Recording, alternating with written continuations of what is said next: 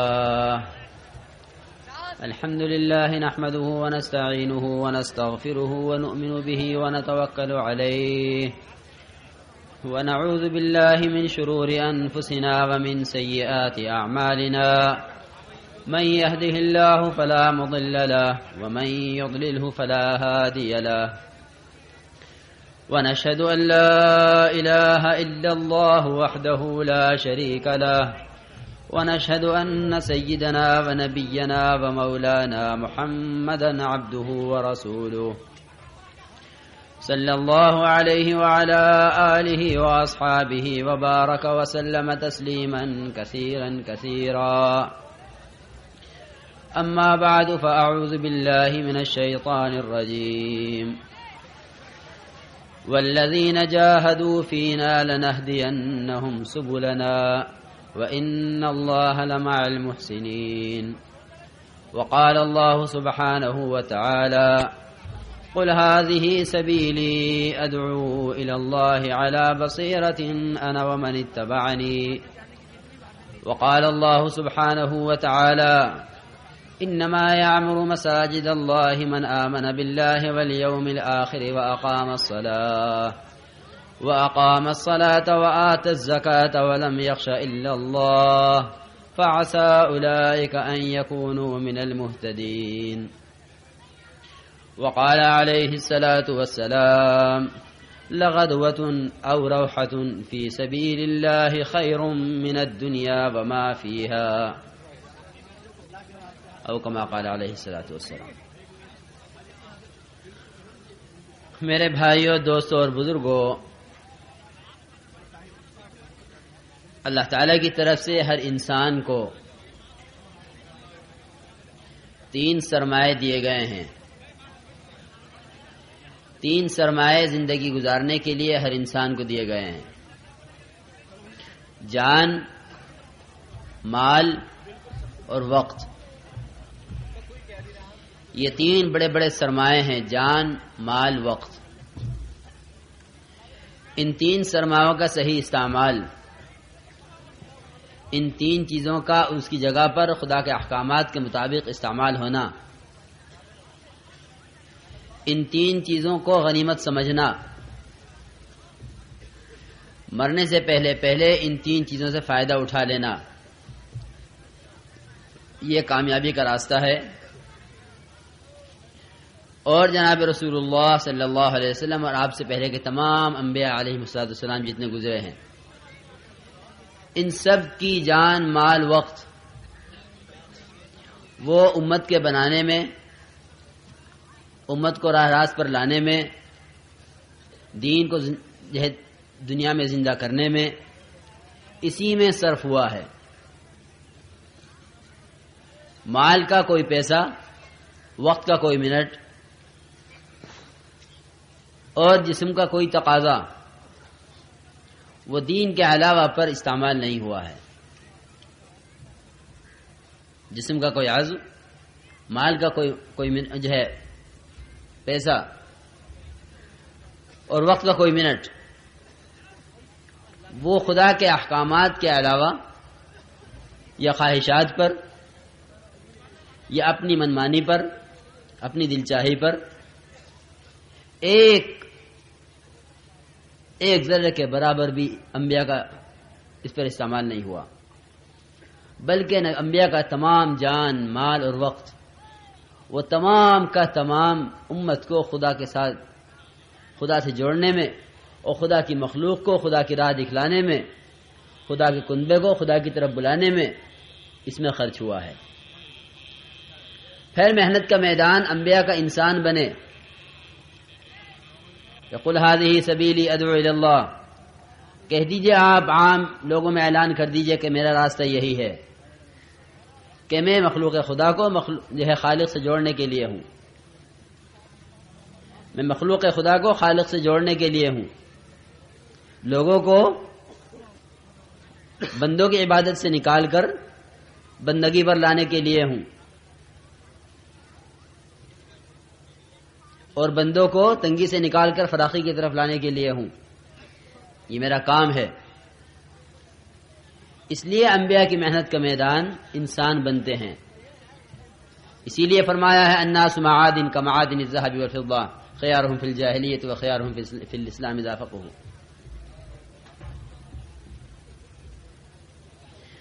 کہ انسان سونے کی کانے ہیں۔ اگر ان پر محنت کی جائے ان کو کھودا جائے، ان پر جان مال وقت لگایا جائے۔ یہ سونے کی کانے ہیں۔ ان میں سے سونا نکلے گا، ان میں سے چاندی نکلے گی۔ ان میں سے وہ تمام جواہرات نکلیں گے جو اللہ تعالیٰ نے اپنے خلیفہ کے اندر رکھے ہیں۔ لیکن اگر انسان محنت کا میدان ہی نہ ہو، انسان کو محنت کا میدان سمجھانا جائے، انسان انسان کے علاوہ ہر چیز کو محنت کا میدان بنائے ہوئے ہو یہ بات تو طے ہے، جو آدمی جس لائن کی محنت کرے گا، اس لائن کے کمال کو پہنچے گا۔ جو جس چیز کو محنت کا میدان بنائے گا، اس سے پورا پورا استفادہ کرے گا۔ اور وہ لائن اس پر پوری پوری کھلے گی۔ بقور مانا یوسف رحمۃ اللہ علیہ کے کہ کاشتکار زمین پر محنت کرتا ہے۔ لیکن زمین پر محنت کرنا اس کا اس کا زمین پر محنت کرنا صرف اس لیے ہے کہ میرا بیج کتنے میرا بیج کتنی گہرائی میں گیا ہے اور اس کو کچھ عرصے کے بعد کتنی بلندی پر آنا ہے۔ اس سے زیادہ اس کی سوچ نہیں ہوتی کہ یہ میرا بیج ہے، اسے کتنی گہرائی میں ڈالنا ہے اور کتنی اونچائی پر اس کو آنا ہے۔ اتنا اس کا ارادہ ہے، اتنی اس کی نیت ہے۔ اس کی نیت کے بقدر محنت اور اس کی محنت کے بقدر نتیجہ۔ یہ ہر کاشتکار کے ساتھ ہے کہ نیت کے بقدر محنت ہوگی اور محنت کے بقدر نتیجہ ہوگا۔ کہ نیت یہ ہے کہ یہاں اتنا اتنا کھودا جائے جتنی گہرائی میں دانا ڈالا جا سکے۔ اور پھر اس سے مجھے اتنی امید ہے کہ اس کی بال، اس کا پودا اتنی بلندی سے زیادہ نہیں ہوگا۔ اتنی محنت کو سامنے رکھ کر کاشتکار محنت کرتا ہے۔ لیکن فرماتے تھے کہ اگر اس کاشتکار کو پتہ چل جائے کہ زمین کے اندر پٹرول بھی ہے اور زمین کے اندر جو ہے کوئلہ بھی ہے اور زمین کے اندر لوہا بھی ہے اور اس میں مختلف کانے ہیں اور اس میں جو ہے مختلف جو ہے معدنیات ہیں، تو یہ اپنی محنت کو بڑھا کر زراعت سے ایسا مستغنی ہو جائے گا کہ اس کو کاشتکاری کا نام لیتے ہوئے بھی شرم آئے گی کہ کیسا چھوٹا سا کام ہے کہ فصل بو دی اور کاٹ لی کتنی بڑی بڑی چیزیں زمین کے اندر موجود ہیں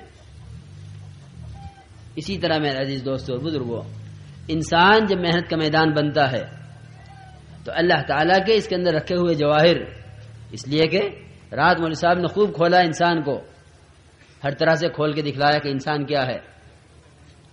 اللہ تعالیٰ قسم کھا کے فرماتے ہیں ایک قسم نہیں، کئی کئی قسمیں کھا کے فرماتے ہیں، لقد خلق الانسان فی احسن تقویم۔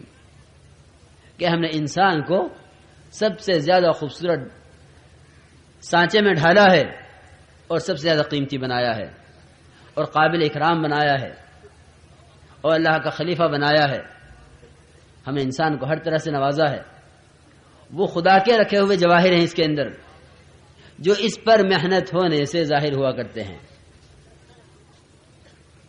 آج جس چیز کو ہاتھ لگاتی ہے سائنس والے، جس چیز کو ہاتھ لگاتے ہیں محنت کرنے والے، اس چیز کے، اس چیز کے فوائد پہ کھلتے چلے جاتے ہیں اور وہ مشاہدے میں آگے بڑھتے چلے جاتے ہیں۔ وہ چیزیں جن کو اب سے دس سال، بیس سال پہلے کوئی جانتا نہیں تھا۔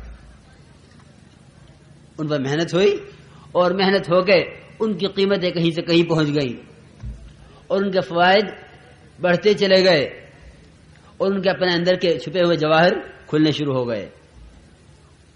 اسی طرح اگر انسان کو محنت کا میدان بنایا جائے، اس طرف غور کیا جائے کہ آخر انسان میں کیا ہے، انسان کس لیے بنا ہے؟ اس لیے کہ انسان وہ واحد مشین ہے عمل کی۔ انسان واحد مشین ہے عمل کی، کسی مشین سے عمل تیار نہیں ہو سکتا۔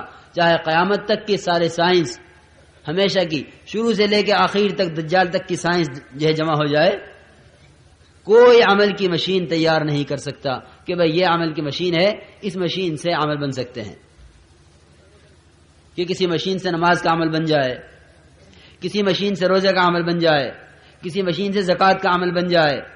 کسی مشین سے اعمال، کسی مشین سے اخلاق، کسی مشین سے معاشرہ بننے لگے کہ ایسی کوئی مشین نہ بنی ہے، نہ آئندہ بنے گی۔ اگر اس طرح کی کوئی مشین ہوتی یا بننی ہوتی آئندہ کبھی، تو انسان اشرف المخلوقات نہ کہلایا جاتا۔ انسان اشرف المخلوقات نہ کہلایا جاتا۔ اس کی شرافت، اس کی کرامت، اس کا خدا کے یہاں مرتبہ، اس کا خدا کا خلیفہ ہونا اس کا سارے عالم پر بھاری ہونا اور زمین و آسمان کا ایک انسان کے اللہ کہنے پر باقی رہنا، کیونکہ یہ تمام کے تمام جتنی کرامتیں اور شرافتیں ہیں، وہ سب کی سب صرف محض اس لیے ہیں کہ یہ انسان عمل کی مشین ہے۔ لیکن آج محنت کا میدان انسان کے علاوہ ہر چیز بنی ہوئی ہے۔ انسان کے علاوہ ہر چیز ہر چیز محنت کا میدان۔ اور انسان انتہائی بے قیمت اس کی کوئی قیمت نہیں۔ اس کے پاس مال ہو تو اس کی جان خطرے میں۔ اس کے پاس عہدہ ہو تو اس کی جان خطرے میں۔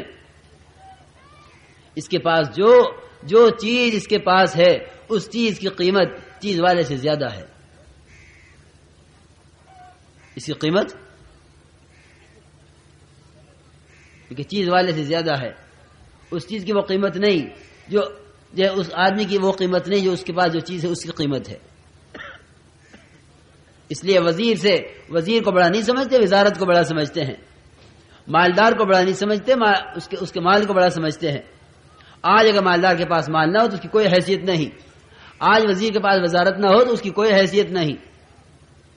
اور بقام رحمۃ اللہ علیہ کے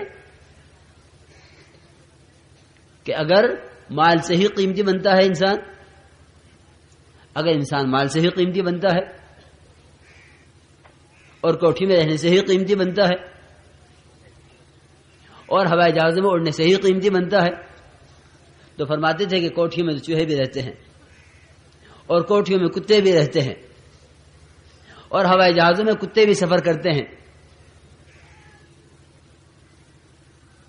فرماتے تھے اگر اعمال نہیں ہیں اور اگر آخرت کی فکر نہیں ہے اور اگر اپنے کو بنانے کا شوق اور جو ہے صبح سے شام تک اس کا غم نہیں ہے انسانیت کے بگڑنے کا۔ تو پھر یہ ہوائی جہازوں میں اڑے تو کوے کی طرح بے حیثیت۔ اور یہ سمندر میں تیرے تو سمندری سانپوں کی طرح بے حیثیت۔ اور یہ سڑکوں پہ پھرے تو کتوں کی طرح بے حیثیت۔ کہ اس کی کوئی حیثیت نہیں، اس کی اپنی حیثیت، اس کا اپنا مقام، اس کے اعمال سے ہے۔ اور جو راستہ اس کو بتلایا گیا ہے، اس راستے پر چلنے سے ہے۔ اس لیے جب محنت کا رخ بدلا جائے گا تو اللہ تعالیٰ تاکید کے ساتھ فرماتے ہیں، جو ہمارے دین کی محنت کرتے ہیں، ہم انہیں ضرور ہدایت دیتے ہیں۔ جو ہمارے دین کی محنت کرتے ہیں، ہم انہیں ضرور ہدایت دیتے ہیں۔ والذین جاہدوا فینا لنہدینہم سبلنا۔ یہ نہیں فرمایا کہ جو محنت کریں گے، ہم انہیں ہدایت دیں گے۔ تاجر تجارت کی محنت کرے گا، ہم ہدایت دیں گے۔ کاشتکار، کاشتکاری کی محنت کرے گا، ہم ہدایت دیں گے۔ ملازم، ملازمت کی محنت کرے گا، ہم ہم ہدایت دیں گے۔ جو جس لائن کی محنت کرے گا، اس لائن کی ہدایت ہوگی۔ جو جس لائن کی محنت کرے گا، وہ لائن اس پر کھلے گی۔ لیکن جو ہماری لائن میں محنت کرے گا، ہم اسے اپنی لائن کی ضرور ہدایت دیں گے اور ضرور اپنا اپنا راستہ اس پر کھولیں گے۔ اس لیے میرا عزیز دوست اور بزرگوں ہمیں اپنی محنت کے رخ کو بدلنا ہے۔ ہمیں اپنی محنت کے رخ کو بدلنا ہے۔ اور محنت کے رخ کو بدل کر دنیا سے آخرت کی طرف چیزوں سے اعمال کی طرف۔ اور فنا ہونے والی چیزوں سے ہمیشہ ہمیشہ ملنے والی جو ہے نعمتوں کے حاصل کرنے کی طرف اپنے رخ کو ہمیں بدلنا ہے۔ کیونکہ جب رخ بدل جاتا ہے محنت کا، جب محنت کا رخ بدل جاتا ہے، تو جسے رخ کیا گیا ہے، اس طرف چیزیں نظر آنے جو ہے، نظر آنی شروع ہو جاتی ہیں۔ کہ ابھی محنت کا رخ کیا تھا؟ اب محنت کا رخ کیا ہے؟ ابھی محنت کا رخ چیزوں کا تھا، اب محنت کا رخ اعمال کا ہے۔ کیونکہ جب اعمال کے رخ پر آدمی پڑ جاتا ہے، تو اعمال کے ذریعے سے مسائل حل ہوتے نظر آنے لگتے ہیں۔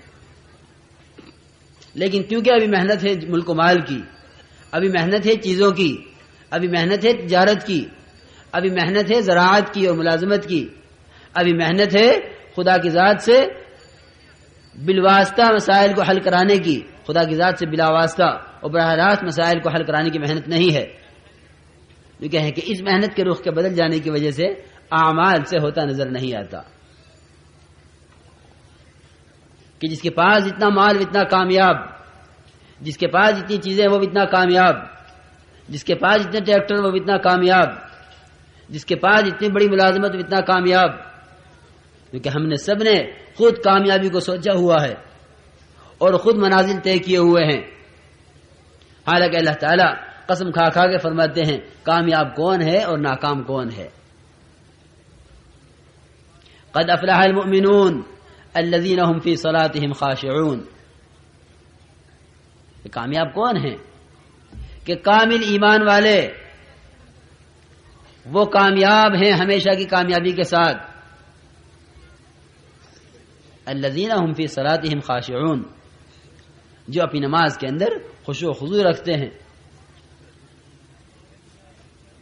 اپنی نماز میں اپنی نماز کو ضائع نہیں ہونے دیتے۔ ارائیت الذي يكذب بالدين فذلك الذي يدعو اليتيم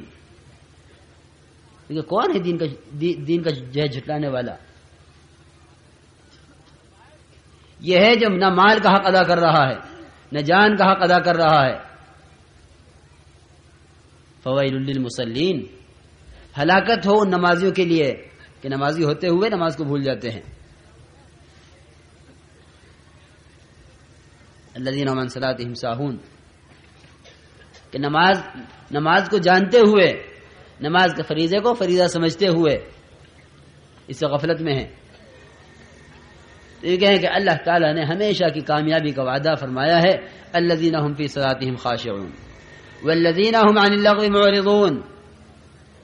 جو چیز خدا کی یاد سے غافل کرنے والی ہے، جو چیز خدا کی یاد سے ہٹانے والی ہے۔ اگر گھوڑوں کے استبل میں ہیں اور وہاں نماز یاد نہیں رہی سلیمان علیہ السلام گھوڑوں کے استبل میں۔ گھوڑا کا معائنہ کرتے ہوئے کہ نماز یاد نہیں رہی۔ اور ایک صحابی کہ باغ میں نماز پڑھتے ہوئے ایک چڑیا میں دھیان چلا گیا۔ نماز سے دھیان ہٹ گیا کہ باغ کو ہٹاؤ راستے سے۔ باغ کو راستے سے ہٹاؤ۔ یہ نماز خراب کرنے والا ہے۔ صبح سے شام تک کتنے مسائل ایسے ہیں جو یوں کہلواتے ہیں کہ ہاں نماز ابھی پڑھ لیں گے، ابھی پڑھ لیں گے، ابھی پڑھ لیں گے۔ وہ ٹالتے رہتا ہے نماز کو۔ اس لیے کہ یقین یہ بنا ہوا ہے کہ میں جس لائن سے محنت کر رہا ہوں، اس لائن سے ہر ایک اپنا اور غیر، خدا کو ماننے والا، نہ ماننے والا ایمان لانے والا نہ اور ایمان نہ لانے والا۔ ہر ایک کو اس لائن سے مل رہا ہے۔ ہر ایک کو اس لائن سے مل رہا ہے۔ ہر ایک کامیاب ہو رہا ہے محنت کر کے۔ مجھے نماز کے راستے کیسے مل جائے گا؟ اگر محنت نہیں کروں گا؟ مجھے نماز کے راستے کیسے مل جائے گا جب ان میں سے کسی کو نہیں ملا ہے نماز کے راستے؟ ہر آدمی اپنی محنت میں قدم اٹھائے چلا جا رہا ہے اسباب کی طرف، دوڑ لگائے چلا جا رہا ہے اسباب کی طرف۔ عام آواز ہے، دنیا دار الاسباب ہے سبب سے ہوگا، دنیا دار الاسباب ہے سبب سے ہوگا۔ یہ آواز نہیں ہے کہ ارے جس طرح دنیا دار الاسباب ہے، اس طرح اس طرح قلب بھی دار ہے۔ یہ قلب دارالایمان ہے، اس کی آواز نہیں ہے، دنیا دار الاسباب ہے، اسی کی آواز ہے۔ یہ کہیں کہ یہ دنیا دار الاسباب ہے، لیکن کب ہے؟ اس کے اسباب تیرے موافق کب ہیں؟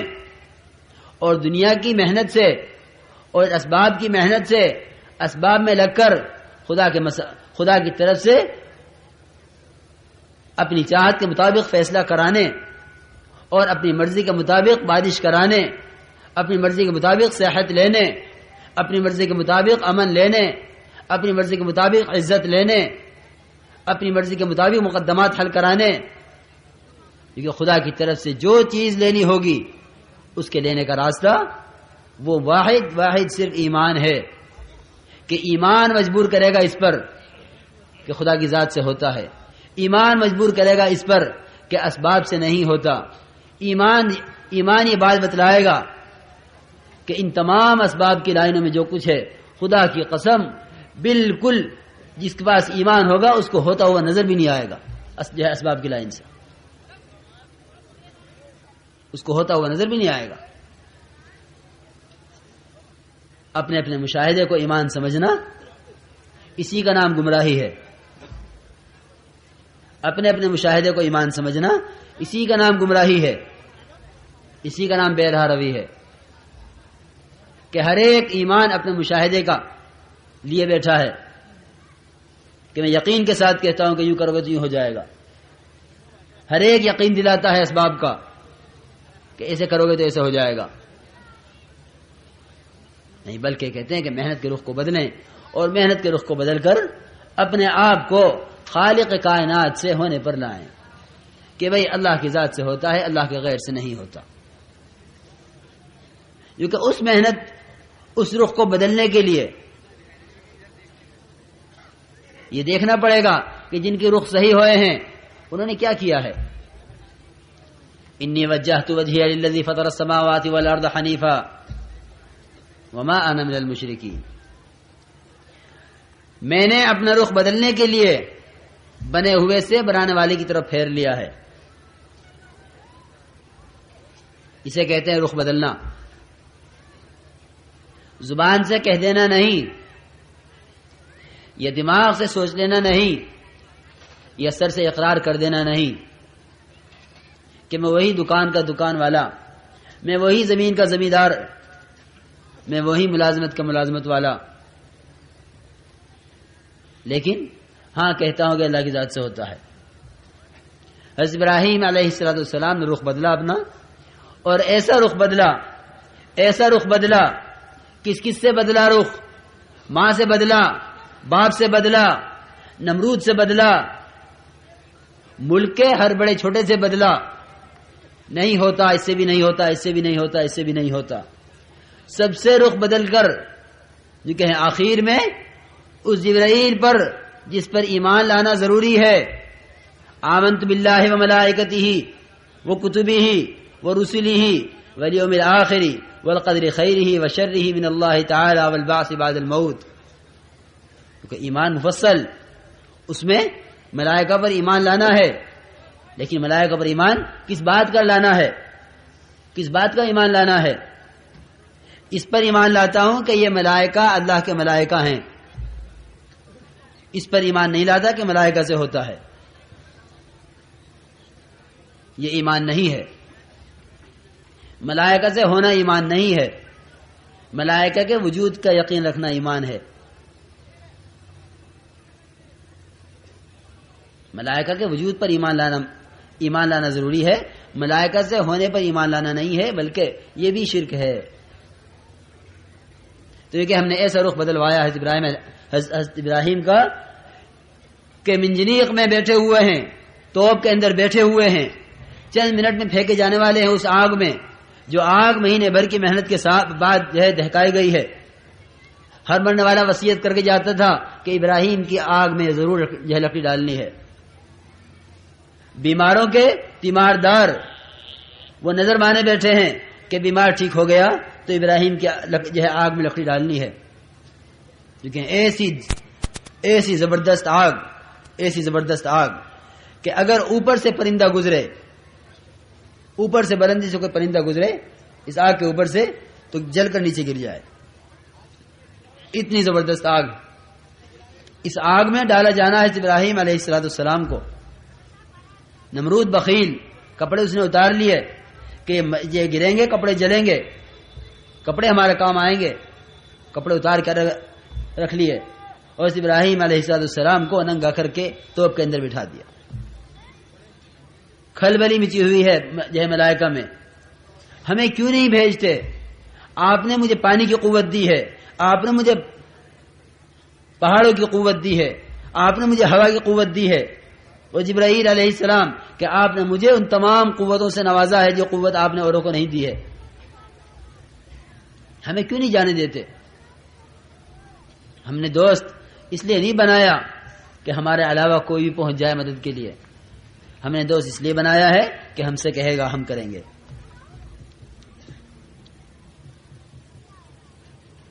حدیث میں آتا ہے، جسے دوستی کرنی ہو فل خالل کہ وہ دیکھ لے دوست کس کو بنا رہا ہے۔ دوست کس کو بنا رہا ہے۔ دوست بنانے سے پہلے دیکھو دوست کس کو بنا رہے ہو۔ کیونکہ اللہ تعالیٰ نے بھی دوست بنانے سے پہلے دیکھا ہے دوست کس کو بنا رہا ہوں۔ رخ صحیح ہے اس کا یا غلط ہے؟ اس رخ کے صحیح غلط دیکھنے کے لیے اتنے ہنگامی حالات میں، اتنے سخت موقع پر کہ ملک کا کوئی حضرت ابراہیم کا ساتھ دینے والا نہیں۔ توپ کے اندر بیٹھے ہوئے ہیں۔ اور یہ کہیں کہ حضرت ابراہیم علیہ السلام نے آ کر تو کہا کہ یہاں سے آپ کو لے جاؤں یا اس آگ کو غائب کر دوں۔ ہر طرح کی قوت لے کر آیا ہوں، جو حکم ہو فرمائیے۔ میں عرض کرنا چاہتا ہوں کہ رخ صحیح ہونا کسے کہتے ہیں؟ وہ بھی انسان تھے، ہم بھی انسان ہیں۔ رخ صحیح ہونا اسی کو کہتے ہیں، اما علیہ کا فلا۔ کہ اگر تم مجھے اپنا محتاج سمجھتے ہو کسی بھی درجے میں، تو میں کسی بھی درجے میں تمہارا محتاج نہیں ہوں۔ اللہ کی ذات سے ہوتا ہے، اللہ کرتے ہیں۔ حالانکہ جبرائیل وہ معتمد فرشتہ ہے۔ وہ معتمد فرشتہ ہے جس پر دونوں طرف سے اعتماد ہے کہ غیر نبی کی طرف جا نہیں سکتا اور غیر خدا کی طرف سے آ نہیں سکتا۔ غیر خدا کی طرف سے آ نہیں سکتا اور غیر غیر نبی کے پاس بھی جا نہیں سکتا جس کے بعد بھیجیں گے اللہ تعالیٰ، وہیں جائیں گے۔ وہ نظر اللہ ربک کہ نبی جی ہم تو آپ کے رب کے حکم سے آتے ہیں۔ آپ نے پوچھا جب کہا غائب ہو اتنے دن سے؟ کیوں نہیں آتے؟ اپنی مرضی سے نہیں آتے۔ ہم تو بھیجے ہوئے آتے ہیں۔ جب حکم ہوتا ہے تو جاتے ہیں۔ اتنا معتمد فرشتہ، وہ ایسے سخت موقع پر آ کے یوں کہے کہ میرے لائق کوئی خدمت جبکہ اتفاق ہے کہ اس سے بڑی کوئی طاقت نہیں ہے، خدا کی طرف سے دی ہوئی۔ کسی کو اتنی بڑی طاقت نہیں دی کہ وہ قد و قامت، جس کی کوئی حد نہیں ہے، تحت السرا سے لے کے عرش تک۔ اور پروں نے گھیرا ہوا ہے سارے مشرق مغرب کو۔ اتنے لمبے چھوڑے جبرائیل، یوں کہیں وہ جب انجینئر میں گئے اور پوچھا کہ کیا کروں؟ مایا مایا کا فلا، مجھے تمہاری ضرورت نہیں ہے۔ کہ جب اس طرح رخ صحیح ہو جاتا ہے، تو پھر ہم اسے امام بنا دیتے ہیں سارے عالم کا۔ انی جائلو کا اماما۔ انی جائلو کا اماما۔ کہ ہم ابراہیم تمہیں قیامت تک کے لیے امام بناتے ہیں۔ امام ملت تم ہو۔ اب جناب رسول اللہ صلی اللہ علیہ وسلم کو بھی کہ آپ بھی ملت ابراہیم کا اتباع کریں۔ ہم نے خلیل چن لیا ہے۔